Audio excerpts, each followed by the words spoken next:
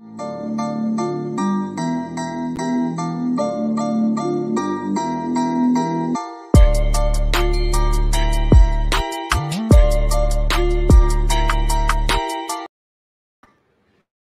and welcome to Two Minute Warning. I'm your host, Perry Busby.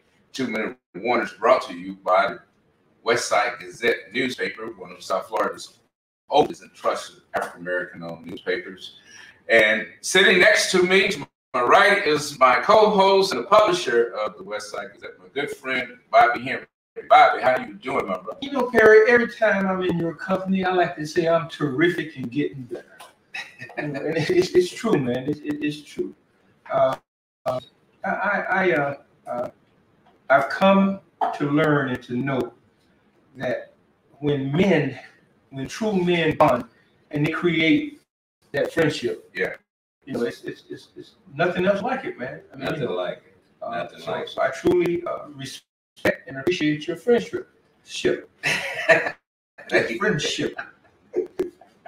and, and that's what I, uh, I, I truly uh, appreciate about uh, you and about our friendship because I I knew only of you and saw you just as a spectator person. I was like, this is someone I really need to know. I mean, because the way you captured the community and captured the essence of where the community stood at that point uh, and to tell it forthrightly is uh, I, I, I'm I'm always for stand up guys and you've always been a stand up guy. So right or wrong, you Right gonna stand up. I'm gonna stand up.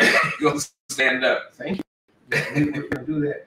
Man, it's just so, so much disheartening uh, things happening, man. Uh, these shootings and uh, man, how do we how do how do we do this? How, how how do we address this? I know a lot of folks saying, you know, it's black on black crime and young boys killing and this.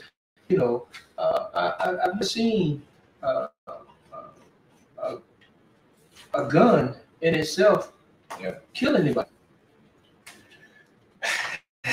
Not in my history, and, and uh, it, it, it, it, speaks a lot to where we are, and uh, reminds you of Marvin Gaye. Uh, Hmm. raise up a hand makes me want to holler, Makes me want to holler. you know. Mhm. And uh, I think that's where many of us are. I mean, we just want to holler, but you know, hollering only adds to the Mm. chaos. So yeah, You know, we, we, we, I was talking to a couple of people, and they and they asked me, "Well, Bobby, what, what, what, what do you think?" And, and I and I say this, and I'll stand by this. You know, it's it's not the gun; it's the mentality behind the gun. You know, we, we we so many people focus in on on on on on, on pers- the, uh, the the gun. Mm. There's many guns on the streets. Too many, you know, uh, blacks killing blacks. It's just it's a man. If we address this, the issue, you know, uh, yeah, as I say, nip it in the bud. nip it in the bud, man. Nip it in the bud. You know, and, and let's let's just be truthful about it, man. The the the psyche, the, the Yeah. mentality that's behind the gun. Mhm. You know, when, when, when you when you're spewing hatred, uh, and you and you talk about this life is not worth this, or Right. you know, this life is more than you know. When we create those dichotomies, man, we we, we get what we get. Yes, and uh, was it? Um, I'm trying to remember where we heard.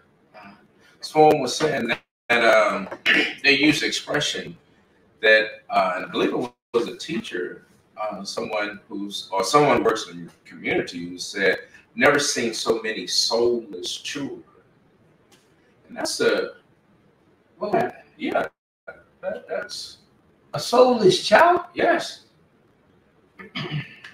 These are descriptions. And so they said we we're dealing with children who don't care. And that uh, it, it sounds strong, but but you know, at some point we we got as I said last week, and my dad keeps reminding me, you can't fix what you don't face. Mhm. And, and and that says something. What what's going on that our children are feeling empty. Are we are we afraid to address the issue? I, I, believe so. Um, well, maybe we don't know this. You know, and so in absence of a solution, let's just get louder. And then you, you can't be heard. You can't Right, hear right, right. The noise comes in. Yeah, Yeah, so no, man, we're living in interesting times, and, and and again, to put that against, as you said, I'm terrific and getting better. I agree with you. I'm terrific and getting better, and that's not to say we're displaced from this. No, you know, no. and uh, because it, it, it hits us, and and so that's always the position that I'm coming from. It's never a them. It's it's an us. It's an us. Now, I'm gonna use this analogy, and, and please, I, I, I want the viewers and the listeners to understand what I'm about to say. You know, look past uh, what I'm saying and envision uh, what I'm talking about. There, there's a rose that grows in the sewer. Okay, yeah, a Mhm. rose, a beautiful rose that grows in sewer. Now, if you can imagine this rose, its its roots are so deep uh, that it grows beneath the sewage. And the stem that has the rose never really gets in the sewage. Mhm. It stays above. So no matter no matter if if we're in the, the doo-doo, Mhm. we don't have to become the doo-doo. Right. Mhm. Right.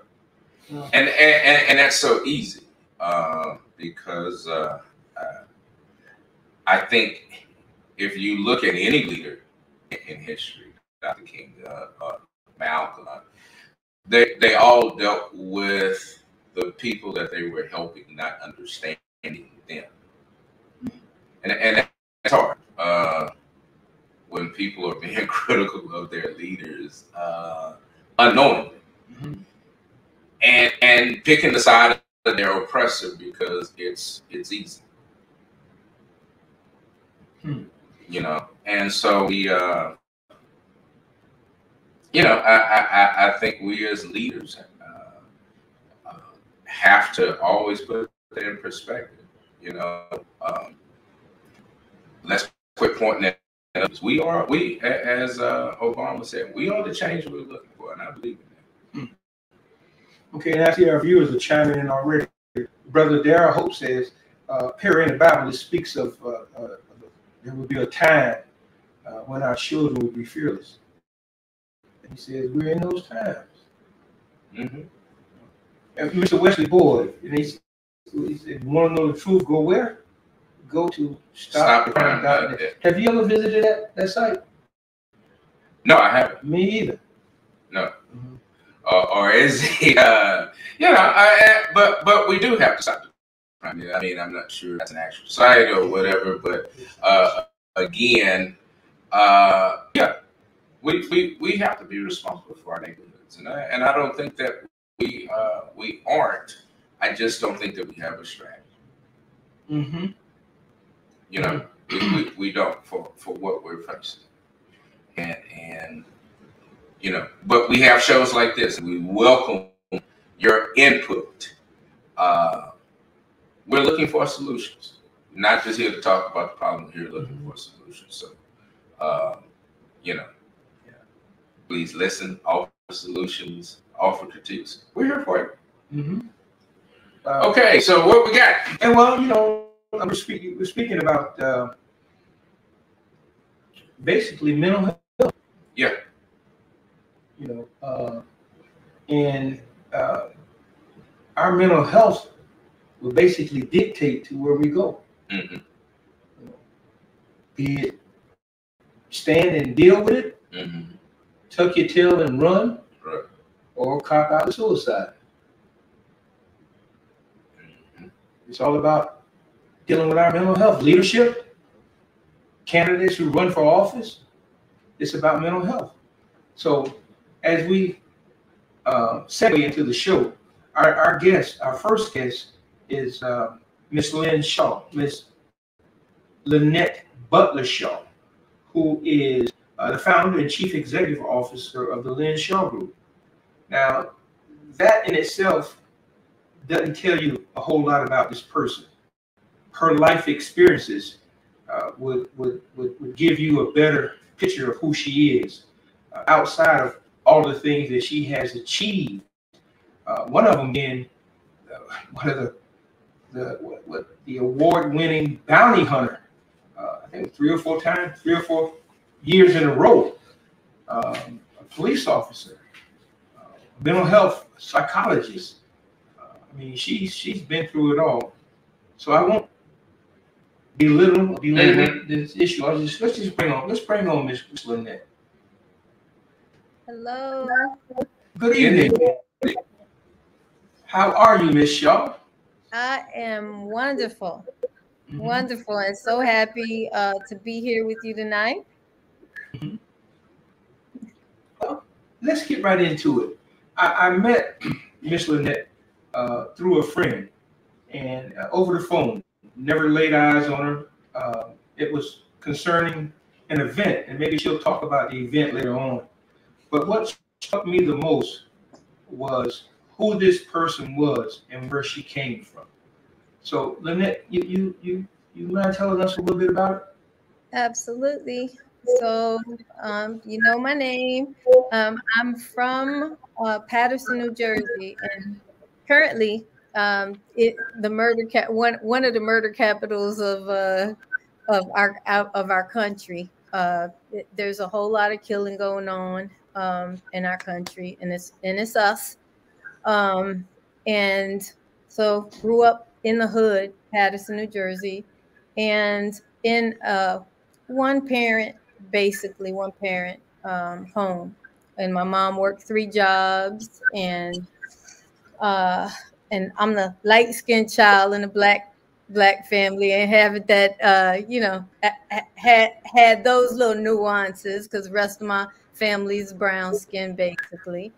Um, and you know, I, I, experienced a great deal of trauma living where I lived. Um, and I, I, will tell you a little bit about uh, how uh, my life be, began. And it's much, very much like some other young people that are out here now. Um, but I do have a unique story. Uh, and my mom, three jobs, and my uncles were all Black Panthers. And I had one that took me to school every morning. And this particular morning, um, I'm, I'm a little fresh little girl at seven years old. And I decide that I'm not going to, I'm, not going to school that day. But my uncle dropped me off at school and he left and everybody's in the playground getting ready to go into the school and my little behind backs out of of the playground under this little trailer that was out there they were fixing the school and i backed out into uh, under under that trailer and to be grabbed by six white boys from um, a neighboring school dragged into a building across the street, tied up, raped, and left for dead at seven years old. I bit through the rope that I was tied, that was tied to my arms, and walked, got out, and walked home. I got into the bed and by the time my mom got home around nine at night, um, she came in to see me, and I had 105 fever. And back in the day, they they weren't taking you to no hospital. They were going to rub you down with alcohol and and, and make sure they get the fever down. But she never um, looked under the covers. And as a seven year old child that was playing hooky, um, I never said a word. And so I endured that trauma, and my behavior actually changed in school. Um, and nobody saw me. Nobody saw that my behavior changed. Uh, not a principal, not a teacher, not a security guard. I, I, I started to fight with other kids that were messing with other kids. I was trying to beat up all the bullies. Anybody that was messing with somebody, I started, you know, fighting and trying to defend them. And so that's just one, um, the way it started. So my dad um, was a bail bondsman in the, in the town, very well known. And um, I worked in the office after school. And so by the age of 11, my dad was taking me to the jail to bail people out. Um, locals, people from New York, people from, you know, drug dealers, drug people that were really into drugs, um, bad. But the families would come to my dad's office to bail them out. So my little 11 year old behind, I'm I'm there taking applications and and um, I learned Spanish a little bit, so I was able to you know, take the application in Spanish for those families, who, Spanish families who came, but mostly it was black families because black neighborhood, black, you know, um, and and sprinklings of Dominican and Puerto Rican and whatnot. So um, I got real close with the families, and so um, one day the police officers came over from across the street looking for people that we bailed out um, saying, you know, what what information do you have on them? My dad used to take me to the jail, and I used to take pictures of the people we bailed out, and so I would be able to talk to the families and everything, take that information. And what I didn't know at the time is that I had a uh, photographic memory. Uh, when the officers came over, uh, they said they were talking to my dad, whose name was Lenny these are the people we're looking for. And I'm nosy. So I'm looking over and I'm like, well, I know where he is. He is and he is. And and the officers were like, get out of here. And I said, I know where they are. And so uh, they asked, Lynn, can we borrow your daughter? And he said, yes. They put me in the back of the car at 11 years old. I took them to the armory where I knew all of those guys hang out and there were two officers in an unmarked car and me in the back seat. And I said, There's that one and there's that one, right? And they both jumped out the car. The car was rolling. And you, I know everybody here remember the seat. I had to jump over the seat and put the car in, in, in gear and jump back in the back seat.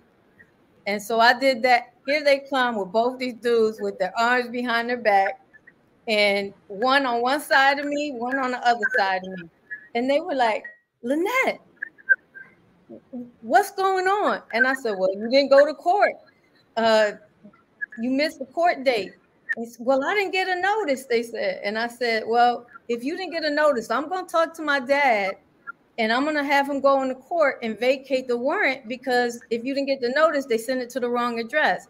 And sure enough, both of them, they sent it to the wrong address and talked to my dad. My dad went in, vacated the warrants, and they got out right away. From that one time, those dudes went out on the street and said, Listen, if you got any trouble, make sure you call Lenny's daughter. And so word went out on the street that make sure they call me. And Lord, they were calling me. So by the age of 18, years old. I, I went out with those officers. They pretty much taught me everything from the age of 11, 12, 13. 14. They shouldn't have had me out there, but back in the day, it was what they did. By the age of 18, um, I had my own fugitive squad and I ran an eight man squad. Um, and we would go all over the country and I, I got really good at fugitive investigations, mainly because I established relationships in the in the neighborhood. And back in the day, mothers, single mothers that worked real hard would have homes that they put up for those kids to get them out of jail, and their homes were in jeopardy. And so they would come to me and say, Lynette, I can't lose my home. I worked all my life for this home. And can you go get them? I know that they're gonna come home okay. If you gotta put him in jail, it's okay. But I'm gonna tell you where he is, and and so I had those types of relationships with the people because they knew me from the age of 11 years old. And so by the age of 22, um, I had news reporters following me around. I was bringing in over 400 people in a year and unheard of with anybody, right? But I was I was acting crazy. I was running, jumping roof to roof, running after people, jumping on dudes that were six nine, and uh, just just really a mess. Now everybody wanted to work with me. Uh, she's so cool. She, you know, I she got my back. I got, you know, I can't believe that she jumped on that guy. They're all impressed with the craziness that I was doing to bring these people in. And meanwhile, I they didn't know, and I didn't know at the time that I was absolutely suicidal. Uh, it, uh, the stuff that had happened to me prior, and and let me go back a minute. Um, in my household, my dad was present but not living with us, and I watched my mom be beaten in every which way you could think of, thrown out of a moving vehicle, almost drowned in front of me, guns in places that children should never see, guns being put on their mom. And then I was beaten um, as well. And so I did not have, I really didn't have a, a, a childhood. And at the age of seven, when my dad would call, um, and I knew he was coming, I'd be like, come on, mom and I found a way down the railroad tracks to get us to my grandmother's house. And while my mother was all beaten up and crying, um, I'd be pulling her down the railroad tracks and the be guys on the side of the railroad tracks that were homeless and, and they'd get up and try to get us. And I'd tell my mom, just run, just run. And I'd pick up the rocks on the side and throw them at the guy. And I said every cuss word. I think I made up cuss words um, calling those guys and and and telling them what I was gonna do to them, but throwing rocks at them and stuff and making my mom run. And that was at age seven. I have been a defender of innocent folk my entire life. And and someone uh, asked me recently, Lynette, who's ever protected you? And, and it, I had to get real quiet because I don't know anybody that ever has.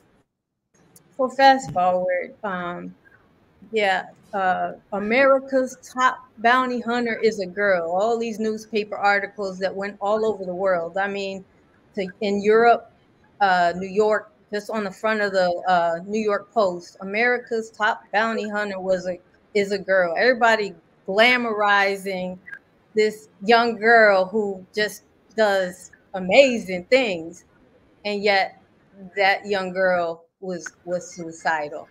Um, didn't even you know didn't didn't even occur to them that something was wrong um, because it didn't seem to them you know they were excited by what we were doing and so you know that, past i did that for 13 years and um and then once those newspaper articles came out, I felt like they blew my cover. And so I moved to Europe for a little while, lived in London, lived um, on the east coast of Africa on an island called Seychelles for a while, um, and moved around, went to Germany and, and stayed in, in, Nuremberg, Germany for a while, um, and then came back.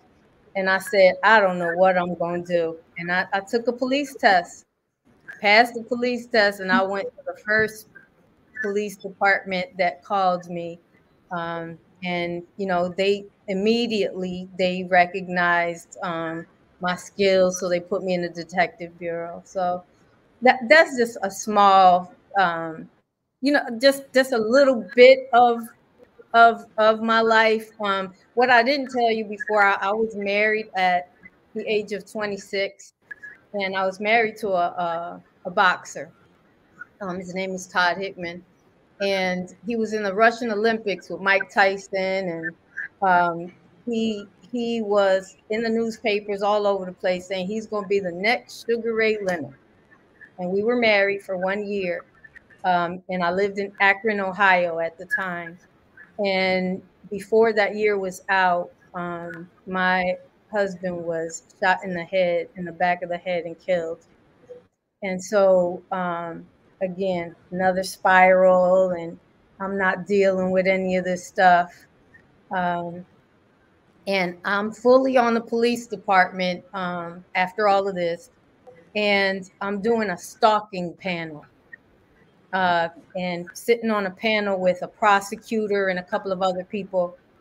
And um, the prosecutor, un- unbeknownst to me, brought a audio tape with them, and it was a 911 call. They were trying to, you know, um, uh, display. It was 200 students in the room, and the audio tape came on, and it said, "Please help me." It was a little girl's voice, and in that moment, something cracked open inside of me, and right there on that panel, I start seeing me tied down, all kinds of other traumas that I went through, and just flashes of it. And I sat there, I answered three more questions from those students. And I ran out of there and got in my car and started screaming because I didn't know what was happening. I thought that I was losing my mind. I was getting these flash flashes of different things that happened to me and I guess it was so buried that everything just came up at once. And and I got home, I got in the shower and wouldn't get out the shower. And uh, thank God a friend got me to a counselor. And that was the beginning of me even recognizing or acknowledging what had happened to me and why I was doing any and all the stuff that I even chose to do, um, being the protector. And when I I just found out recently that um, many police officers and people that do helps, pastors, um, uh, firefighters, and whatnot, many of them have been through things um, that where they have been traumatized and hurt and that's why they choose those professions because they try to act out trying to they're, trying to save their younger self through doing that job. And it makes so much sense to me when i you know when a psychologist told me that i was like that's the reason i became a police officer because in the beginning I really didn't even like police officers. My my uncles were Black Panthers, so I saw a lot of things happen in the community that I thought were so unfair and not right. And then I knew some really good police officers, but then I I, I also knew some that were not so good. And so I decided that I was going to do something from the inside um, and make some changes from the inside, and that I would respect folks because I always had good relationships with the community, whether they were drug dealers or or you know any any illegal activity or or otherwise. Um, because many people don't know why folks get into these things. You know, back in the day, they used to send you know us to police officers and say, you know what, can you talk to my son or can you talk to my daughter? Not anymore. There's no more respect like that because they did away with community policing. They did away with, you know, things that really bring bring them together. You know, um, and so I decided I'm going to do something about it. And um, throughout my career, I've had the awesome opportunity um, to train police officers in how to de escalate situations and how to recognize signs and symptoms of mental illness in young people or in people in general. So instead of going to their guns, they they can talk and they'll recognize that it's because it's a black person is is and they're angry doesn't mean they're dangerous. It means that they're angry. you know, and and oftentimes um, if you don't come from a neighborhood, you don't know our culture, how we roll, um, uh, Puerto Rican folk, they talk with their hands, you know, and so that might be misconstrued. Sometimes we get loud, and that may be misconstrued as aggressive and, and whatnot, but we're upset. And so I I have had the opportunity to change some a lot of police officers' perspective by teaching them about culture and and also about mental illness and how those symptom symptoms can present. And that has saved so many lives so many lives. Uh police officer um that i trained said one thing to me that stuck out and it was so significant to me and i realized the brevity of of what i was doing when he said that. He said lynette i'm on the swat team. You train my whole team. He said last year i had 60 mental health calls he said, Guess how many I shot? And I said, He said, Not one. He said, You are saving lives. He says, I'm one police officer that you trained and that got it. Imagine, he said, How many police officers did you train? I said, 10,000. How many lives do you think that you have affected? And that hit me in a way that, you know, I never thought I was doing so much um, and and I realized that it is an important work to be done. Um, so I, you know, I also teach young people um, in the community, inner city kids, those with bracelets uh, that's been to jail and whatnot. I teach them about mental health and that they're worthy, that they don't have to stay where they are, or they're not, they are not what they did. Um, so many times our kids are just trodden down on because they made mistakes like we never made mistakes right? And mm-hmm. many times because of the actions they don't they're not acknowledged they're forgotten they you know you don't know what's going on in their homes nobody knew what was going on in my home. And so you look and you said you we point fingers at young people but we don't know what they've been through. We don't know what's going on in the home. And and if they have anybody that that is there that even cares about them. And so just to touch young people and let them know where you've been and that you know what if if if i could get through and, and i only told you this much of my story if i can come through that and and and have been traumatized in the way that i have been traumatized then anybody anybody can come out of it. Well, you know, I well, we did a lot of shows. I don't think we've ever, I don't think we've ever said this quick, you know, and, and, and not interject something.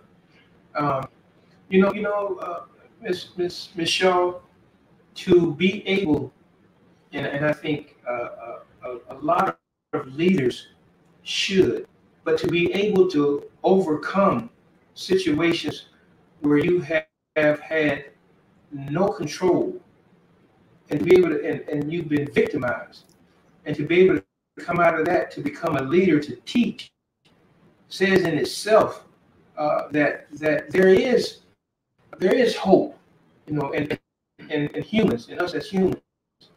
But we have to find that. How how how do we get to that point? How did you overcome uh, uh, the the the trauma to be able to go out and now heal? Well, I, I will tell you that healing is a process. He, healing is definitely a process. Let me see.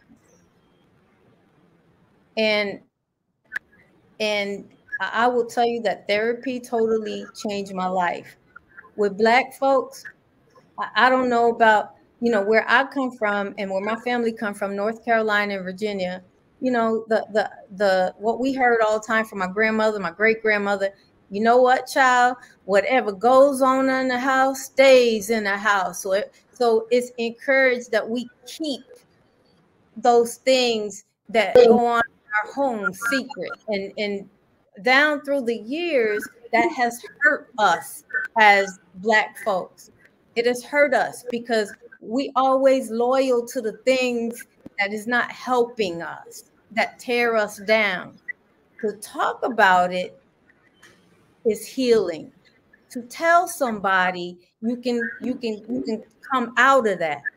Um, but we're embarrassed about therapy, embarrassed about getting help. Black women always got to be strong. We always got to do things on our own and whatnot. We don't need this and we don't need that. We do. We need community. We need family. And, and, and I'm talking about functional family, not the dysfunctional family. We need family, we need community, and we need to know that it's okay.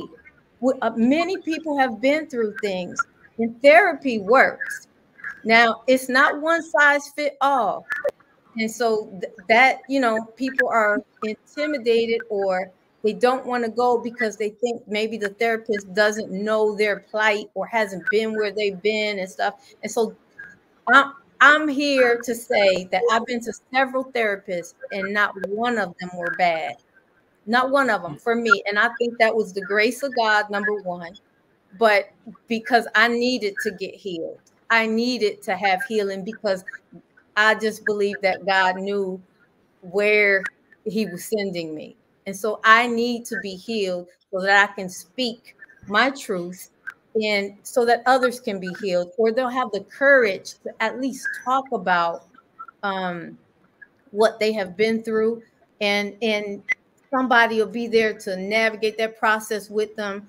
I, I don't believe in doing things for people per se. I believe in I, I believe in teaching people how to fish, not giving them the fish, because you have to empower our people, not not make them dependent on you.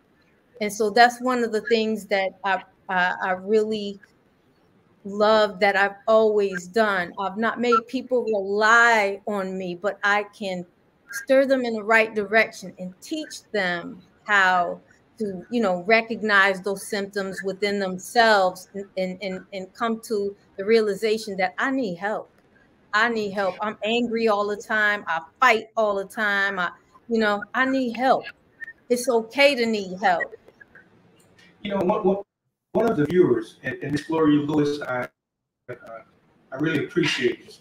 Now now she's not saying that that our uh, Sheriff Gregory has any mental problems. But her question says, she said, Bobby, she is awesome, meaning you. What can we to help our Sheriff Gregory Tony with all the drama uh, around him? Now, now, I guess not, not, that I guess when you when you are in a high profile uh, position, and, and and and there are those who don't want you in that position, and all of this stuff comes, that has to have an effect on, on some folk uh, mentality. What can we do, or what can, as as Ms. Lewis says, what can can we help our ship? I think that this is it's a tough position to be in when you are in a position of power and and and you have people around you that are jealous, people that that want to take you down because you know many times they um, folks don't want us in certain positions because it's too much power. But what I want to say is encourage encouraging one another and being there, even if it's just to listen and, and not get in into all of the what he say, she say, all of that kind of stuff to perpetuate what other folks are doing. We need to stand firm and support one another. We really need to stand firm. And that's something that, you know, I, I haven't seen in in us. Um, other folks stick together, but I feel like many where I've been, it's been crabs in a bucket, right? It's it's one one gets on top and you pulling this one down and you pulling that one down and you pulling that one down and and it it's it's sad that when you get leaders um it, it, it takes a big big toll on your mental health and so you need to encourage one another and to be there and not to add to you know talking about the situation all that's doing is stirring things up And then people got ideas about, oh, did he do this? Did that? I, I, I don't think that's our position to judge. I think God is is is the only is the only judge. Uh, I I know we're, we're running out of time, but I do have this one question you, Thank you. Uh, your story is powerful. Um, you said something. You said that as a child, no uh, uh, no one recognized, and I want to go back to that because as a child going back, is it just that no one asked uh, what's going on? And from that experience, how have you taken that experience and applied it to kids today? Because I think you know, that that's a powerful statement that people just saw something, but no one. No one from saw your, your perspective, you I, said no. I, I, I still feel like no, you know, like no nobody really saw me. And and it's much like that today that you look at the kids' behavior, right? But you don't under you don't look for the underlying reason. Wait a minute, that child wasn't like that before. You know, they look at the behavior and they're scolding the behavior. And it's not the behavior that's the problem, it's what's under that behavior. And oftentimes they say our children can't learn. It's not true. Remove that trauma and take that off and watch our children soar. The problem is is that we are all looking at behavior. And I listen to young people. They listen to me and I listen to them and I take my time and I see them. I can see under all of that. I can see under the the angry child or the one that I hate police officers or I hate this and I hate that. There is something wrong there. There's something that they've experienced and they have all of that on top of who they really are. And too often, more often than not, we're not seeing that. We're just looking at what they do and and and not who they are.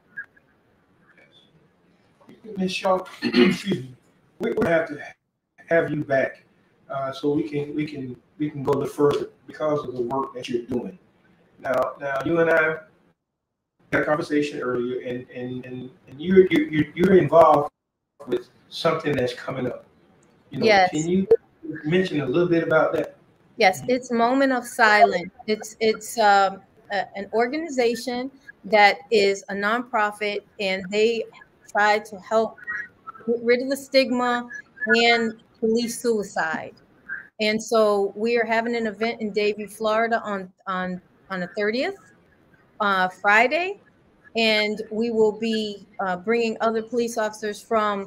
Uh, there was a guy who who ran in and saved 150 children in Uvalde, um, Jacob, and we're bringing him in. We're giving him an award. A couple of officers from Doral who were in a firefight um, and they survived it. Um, we're giving them an award and and trying to just uplift those who are doing a really good job um, and and to bring to light the suicide that is happening in the in the police community.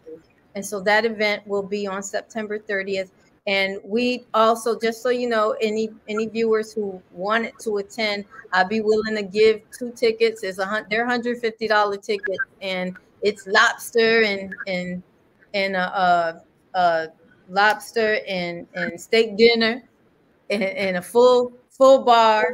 So um, if anybody's interested in going, um, I'll have two comp tickets for the person, you know, two people who want to go. Thank you. It's moment of silence. Okay, okay.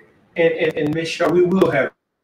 Uh, we have another guest waiting in the in the backstage. But I want to say this: uh, we were trying to create uh, this show and how we could bring some healing in this political season. Uh, we've seen how politics uh, are, are are destroying people and, and, and each other. Yes. So uh, we said that we would do this, and, and uh, every leader, or every anybody trying to be a leader, has to have his or her mental capacity at its at its utmost. you know, uh, and, and so, so you you have set the stage, uh, hopefully, for for for those who are are, are aspiring for the position of leadership to understand that that the mind, first of all, is a terrible thing, waste, and our survival is dependent upon uh, our psychological and well-being and what we do. So, uh, thank you very much for, for setting the stage. And Mr. Thank you for having me. That's great. Thank you, Michelle. but you, you, you, you got to come back. And I, I hope somebody responds to those two tickets. Uh, I won't be here. If I was, I would respond to those two tickets. I would love for them, to, for them to join me. Thank you so much for this opportunity, and God bless you both. Thank you. Thank you. God bless you. Thank you. Okay. Uh, Mr. Bud, I don't think we have Man, that was, side. yeah, it's just a powerful story. And, um, you know, sometimes it's just to listen and get a good perspective. And, uh, wow, what a powerful story. Okay. So is our next guest, is she, is she back there? Yes, our next guest uh, is no stranger to the show. Um she was here a few months ago uh, to speak with us. Uh, she's a candidate for the Broward County School Board District 5. Uh, that race ended in a runoff, uh, and the two top candidates were uh, our guests, uh, Ruth Carter Lynch as well as uh, Jill Holness. And uh, so we're happy to have uh, Ms. Lynch to join us tonight. And uh, just for uh, the sake of public record, we did reach out to both candidates. Uh, we've not heard from Mr. Holness, but uh, again, thank you for joining us, Ms. Lynch, and welcome once again. Well, thank you, and it's always it's always a pleasure to be here with you all. And I wasn't uh, hot to trot because the topic, the mental health topic, is so so important. It is one of the most important topics of our time right now, especially with our children. And you know, when we talk about our children, when we talk about education in our schools, we cannot be lost on the fact that our educators and our administrators, our cafeteria workers, our bus drivers, they're all feeling the pinch of the mental health issue. So we we have to do whatever we can. And trust me, I understand trauma. I, I was born and raised in Greenwood, Mississippi, and that's enough said. Mm. So you got a diploma on, on dealing with certain people, right? yeah, trust me. I have a PhD in trauma, right? Yeah, But and that old saying, I think every no matter what black household you came from, uh, my grandmother would say, "House business is house business." And like the, the doctor said, uh, the psychologist said, we have been programmed, both uh, directly and subliminally, not to talk about trauma, especially trauma that happens in our house and around our kids. You know, I've done I, I myself and uh, quite a few other people I know. We, I, I had I, at the, the ripe old age of twelve, I was molested, and it was by a, a family member. So, and you know, of course, we couldn't talk about that. But the only thing that healed me, and I and I never tell people to get over stuff. I tell people to get through it. Mm. The only thing that healed me was the fact that I had I went into therapy for five years after I became an adult. Because what happens is you uh, you that stuff let, lies dormant in your in the back of your mind, and it and it anything can trigger it, and you don't have any control of how you react to that trigger. But in order to make it through everything, you just kind of bury it uh, until you really have forced to deal with it. So trust me, when it comes to mental health, we have to really, really, really, really be diligent. And um, especially with our kids, every time I pick up, uh, I'm t- I can't even read the paper anymore because we're having so many suicides. by our children. Suicides are at an epidemic level right now among school age children. And you know, people will say, well, you know, what do they have to be worried about? Life. You know, life happens when we're not watching. But oh, go ahead, Bobby. You were going to say something. Well, I must say they do have to worry about, um, and and they are because I, I think you know it's more adults who are sort of who are rightfully so dealing with this mental illness and one being the fact that somehow we think our children are not seeing what we are doing and, and, and are not coming to some conclusions about what they see, what we're doing. And uh, right now, our school board uh, is going through quite a few changes, some rightfully so. Uh, but regardless, there's in chaos. Yep. And it's going to take cool heads and well level thinking uh, to help steer side of this. And, you know, if there was ever a time uh, of constant mental health among leaders in a critical time, it's now. Um, help, help us understand what's going on with the race. Oh, what's going on with my race? Community level, talk. Well, let, let me just tell you, I, I have a good report. I, I really have a good report. I was able to uh, do something that I don't know whether it has been done before in Broward County, but uh, and I have to give the credit to my my husband, Pastor Robert Lynch, because you know once you come out of a race and if you didn't come out on top, you have to go you have to go lick your wounds for a little bit. And if anybody tell you that they're not disappointed when it's not what they expected, they're not telling the truth. So, but Pastor Lynch said, why don't you do this? why don't you go ahead and call all of your past opponents and we'll invite them to brunch and let's sit down and have a conversation and strategize how we're going to do this political thing going forward let's face it everybody know i'm i I personally don't want to be in office forever. It's time for us to train and groom the next generation to step into our shoes once we've done what we as much as we can do. I am a strong proponent of, of and, and it bothers me that every time a young person or anybody come into office, they have to start over from the beginning. Why is that? I am in office and I have all of all of the access.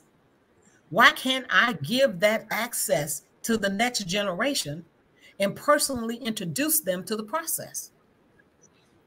And that's one of the things that I plan to do once I'm elected. And you know, at the end of the day, that is so that is so important and so necessary because we have to let them know that we actually care. And both of you guys are God-fearing men. I'm sure. And Bobby, you know the Bible uh, probably as good much as I do. I had to learn it because I'm married to a pastor. That's another story. okay. I didn't have a choice. I'm a preaching, so I, I don't know. it is our it is our job yeah. to train and foster and mentor our the next generation. That's our job. You know, you know, and and, and, and Miss, Miss, the the I, I must commend what what you what you did, you and your husband and, and the other four candidates, and, and to those who, didn't make it, shame on them. Uh, the, the thing that gets me, and, and you know me, you know, I'm gonna tell you what I, what I feel. I, I, I think you know you guys took a picture that that's good, but I want to see I want to see you come together, and I want to see those folk endorse you. I mean, we can't we can't we don't endorse for the show. But mm-hmm. to, to, those who, who met, I, I think it's time for us to say, okay, if, if if we can do this, and I'm with you, I'm gonna tell the world I'm with you, you know, because mm-hmm. that would that would allow others to see their those people who supported them. Now, uh, the fact that they have come out and support you, that means something, you know. And and, and I don't want to I don't want to uh, editorialize, but mm-hmm. But but we we have to start standing up and telling the truth. Yes. You know, I mean, yeah. Mm-hmm. Well, so I'll that, tell you, they and that, that's not only meeting; they've been working with me uh, continuously. You know, mm-hmm. uh, and they plan to and they will tell people people have asked them who are they supporting and they will tell people that they're supporting me but i get your point we're going to have an opportunity to do all of that uh, i am having uh, uh,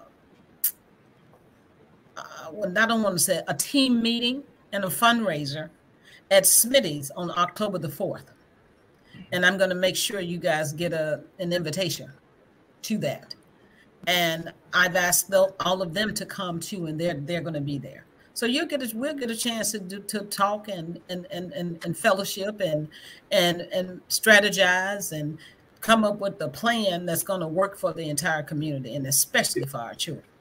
Yeah, we don't need the same old same old, you know. And and, and Carrie, you were alluding to our, our, our school board and its uh, uh, uh, lack of what do you call it? well, I mean, uh, we definitely have a school board. Had I mean, they're coming back. I'm sorry. No, what? But, I'm, I'm, saying what we're dealing with, mm-hmm. uh, because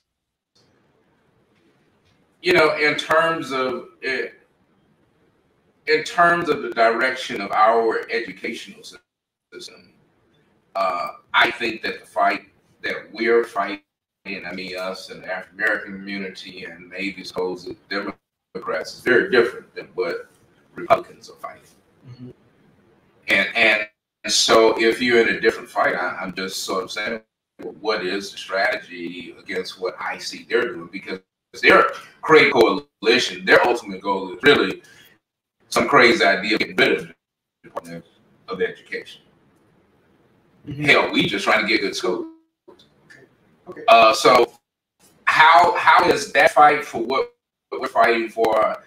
Is that short sighted against what what we're fighting up against? I mean, because now we we almost have a uh, we we have a governor that's almost superintendent by facto. I mean, he he's sort of using his will. Well, you know, one thing that we have to do. See, sometimes we we we um for the lack of a better word, we fall asleep at the wheel. Oh Lord and, have mercy! You read my, did you read my article? Huh? You must no, I did not.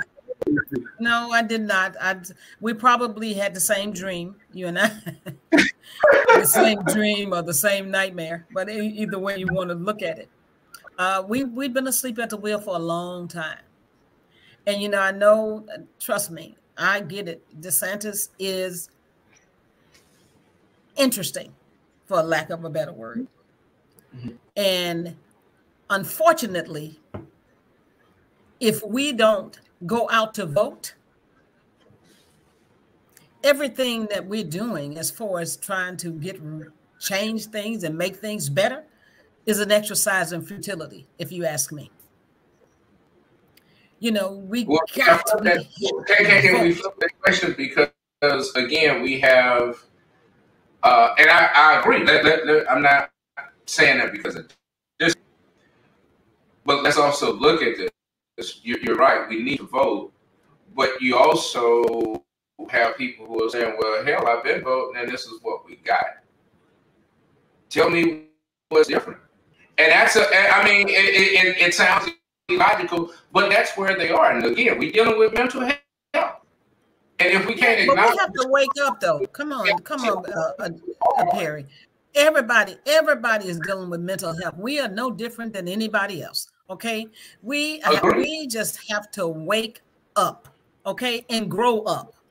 Because I'm, you know, first of all, we are not. We can't wait for anybody else to do it. You know, the only people that's going to save us is us. And we've got to come up with a strategy and figure out how we're going to do that together. Now, it's going to take some time, Perry. I get it. Absolutely. Because guess what? We didn't get this way overnight.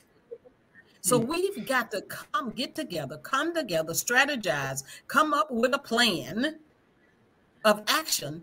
And let's just face it, everybody's not going to want to come along, but those that want to come, we need to diligently work with them as much as we possibly can. And let's get back to the school board. Sometimes stuff has to be torn up to be fixed up. Say that again, Ruth. I missed that. Say that one more time. I said sometimes things have to be torn up to be fixed up. Okay. Okay. Mm-hmm. That's that Mississippi and you coming out. Yeah, that's what that is. Right. That's exactly what that is. And you know, we weren't allowed not to mm-hmm. to to do what we needed to do. We weren't we didn't have time to and we, and then another thing we weren't allowed to do. We weren't allowed to not take care of our neighbors and to take care of other people. We weren't allowed to try to go up there by ourselves because I was told every chance they got that you're not at this college because you did anything spectacular. You're there because we all got together and made sure you got to go. And for that, you owe it to the community and the black race to do the best you can and bring everybody along that you can. Ruth, let me ask you this. Now, to those who who may say, well, we got a school board of a bunch of Republicans. So how do you deal? How do you deal with that? Well, how I deal with that is it's okay. The man, the man with the with the keys to the gates uh, opens it and closes it. That's the first thing. Secondly, uh, the board board the I'm a board governance trainer. I know what the board's job is, regardless of who's sitting there. I've got to work with whoever is there and build consensus for the good of the children. You know, I can't just be mad. And when you just mad, you get nothing done. I've got to be on my game. I've got to understand what's necessary. I've got to go in there and deal with that budget. And I have to understand, make sure that the superintendent understands that she works for the board and we don't work for her. And we have to hold her feet to the fire to do what's necessary to bring this school back into the, the what we know it can be. Broward County is the sixth largest school district in the nation. And it has some phenomenal programs.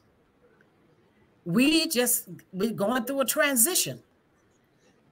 And it's it's incumbent upon me to understand what my community needs and for me to go there and fight for that with everything in my power to do that. Because you know, I was asked a question just recently uh, that I that I, it was said that I said that um, uh, the Broward County, the District Five, didn't have rep- good representation. That's not what I said. So I have to I had to correct that. What I said was, and I continue to say it, that Broward County, that District 5 has been underserved for the last 30 or 40 years. And I meant that. And let me tell you what, why I say that. I went out west on purpose and I go visit these schools all around because you have to know you don't know what you want unless you go see where it is. We have some state of the art schools in other parts of this county and they're still getting resources. And I'm my question is, how come that hasn't happened over here? And that's the question I'm going to be asking, and that's what I'm going to be fighting for as soon as it, but the first day on that board is to have these resources put in the place where they need to be. So somebody from District Four told me District Four don't need anything, but then on the flip side, I heard at one of the school board meetings, one of the school board members was requesting uh, a, a cafeteria or something, a new something.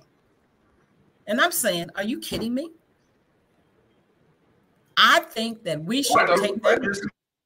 I, and, and, again, I'm asking because I and I agree with you. Huh? Uh, but this is about numbers.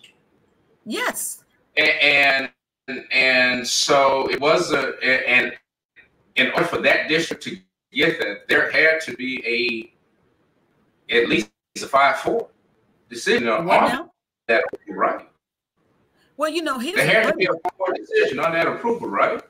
Wait, wait, wait, wait, wait, wait. Now, see, that's where you when you talk about billing I'm not, I'm not making an argument. I'm asking Well, no, no, because no, I'm no, no, I get it. But here's well, here's what I'm saying to you is though, yeah, there's a five four vote, but you but you if you're on top of your game, everybody on that board needs something, and they're gonna eventually need something from you. So what you do is you make sure that you count your votes, and let's face it, going into this because by the way, uh, it's only going to be one appointee, and I think that's going to be Torey Alston from DeSantis in November. So that little that situation is going to be uh, not there after November. Okay. So it's it's going to be back. Uh, I think it'd be only one known Republican. I'm just going to say that at this point on their board, and that's Torey, uh, the chair. But at the end of the day, we have three school board members. Every district has three school board members. You have two at large, and you have one district person. That eliminate that takes down my two. The two I only need two more votes, there. And I've got to do what I need to do to make sure I get those votes to get what I want from my district. It's not you. You need a vote. It's we need a vote. And that, oh yeah, and, absolutely. Let me turn this checks this chess board around. Uh huh. It, it, you my chess piece. Right. I need. We need some other chess pieces. I don't need a chess piece that I got to put in and fight with everything after I have gone through an election cycle and put obstacles in your way. Right. Mm-hmm. This is the this is the numbers game that I'm saying we're losing. Well, because we'll, come back and- we'll, four, we'll put four contentious people at a board seat and fight for crumbs, and, and the budget keeps getting approved because all we're doing is following the process. Well, you know, and like it's I said, uh, yeah, and it's not uh, it's not it's, it's not parties. It's how this system has been played, I, and it has been to our advantage. And when it has been given some advantages to us, it has come from people who have sought to see their piece of the pie before it got to the rest of the people. This is the game that, we're playing, and this is the game that we keep trying to act like the people on the street don't see, because that's the same rule that they play by. But let me say this to you, Perry. It's all about what your personal agenda is when you go there. My only agenda is to make sure that the children and the District 5 schools get the tools necessary to get to get a great education. Student achievement is so important now. It is extremely important. And they can't, and the, the teachers can't teach unless we give them the tools necessary to do that. And one of the things we're talking about, you said, is about the money. It is. It's so much waste in that budget, Harry. if we can uh, streamline some of that waste, and that's part of what my I'm I'm a Lean Six Sigma green belt, and what that means is I'm uh, certified to go in and find waste and eliminate it. If we can get rid of some of that waste, we can take that money and we can reallocate it properly to make sure that we the people that's needed the most can get it get that those funds. So those those are the things that we have to do. You just have to be ready. And to your point earlier we have to do the work.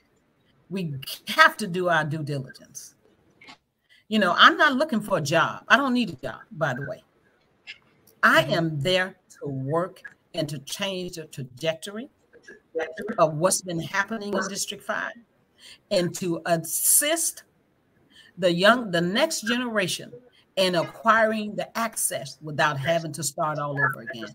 That's my agenda. Okay. I, my, my, okay, let me ask you this. uh, uh, I almost said Dr. Ruth. Okay.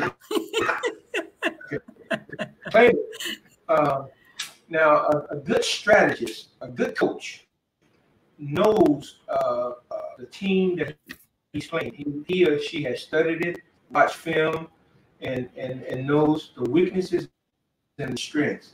From where you sit, your opponent, uh, um, um, what do you, you see as a strength and a weakness from him? Um, so, pardon me? Okay, can you hear me now? Yeah, I can hear you. What What do did you you- say? What do you see as a strength uh, and a weakness of your opponent, and how do you address that? Well, first of all, uh, the uh, uh, first of all, Bobby, I don't, I never like to give my opponent free press, but I'm going to add answer that question. Whenever you call your opponent's name, you're giving them free press. But in any event, to answer your question, I know, I know my community. I spent the last 22 years working in this community, in District Five, with our children, with the community and doing making things happen without even having a title. So that's one of the weaknesses that my my opponent don't know this community. Not like I know it. I don't have to go and find and I don't have to go in and find new friends. I know where to go to get what I need from this community. And I know how to rally this community to come on board for us to help our kids together. So that's the weakness. Okay. Okay. Now I, I see it's getting okay. Sheriff Dickey said, oh, "Well said, Miss Ruth." Dara Hope says, "Miss Lynch, this issue concerning our children goes beyond voting. There is a plot and a political conspiracy going on against the lives of our children." Now, Dara I- uh, Hope, Daryl? Yeah. I agree with that, but Dara, Dara has a story to tell, Yeah. and he has well, let me just say this. So yeah. Let me say this. To, let me let me respond to Daryl's uh, comment. When hasn't there been a conspiracy against the black community? We've all we've lived in a conspiracy all of our lives. So we've got to do what we need to do to counteract that. And we have to continue to fight, fight, fight, fight. You know, I told you, Bill, you all before. I'm a old Mississippi civil rights foot soldier. And fighting is something I wake up to do. But there's also a thing called rules of engagement. And I know how to engage. Because I don't want to fight to a point where we just fighting. I want to fight in a manner that we are acquiring what we need for our kids. That's a good point, and that's a good place for us to segue. Time and, and Ruth, and I'm sorry, uh, I almost call you Dr. Ruth again. Miss Lynch, it, it's always a pleasure to, to talk with you. you know, and- Well, thank and- you. so, so, you know, I'm serious. We're gonna we're gonna wrap this up. I, I I appreciate the history that you bring and the substance that you bring from that history that we need to be aware of. So, And let me just say uh, this and before I leave. Mhm. As I always say, if you want the truth, you vote for Ruth.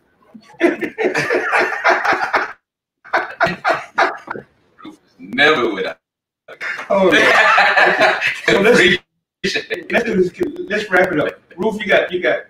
That's a good closing. mark. I don't think we can do it. You got with that one. it. That's- that's good. So, And Derek? trust me, I'm always going to tell you my truth. Okay. Yeah, yeah. Okay. Look, thank you guys. I really appreciate you having me on, and I'm going to invite you all to to my um uh Wings and meeting, my fundraiser at, at at Smitty's on October the fourth. And I have to say, it's the compliments of uh, uh former Senator Chris Smith. Okay. And, and, and, Ruth, I'll say this, not just to anybody. The fact that you're supporting black business, that means a lot. You know, so that that, that I hope that that people would uh, uh, take a look at that and follow you uh, and follow others who have done that because they're, they're, it, we do need to support each other. So, thank you. Yes. Eric? Uh, on that, no, it's been a great night.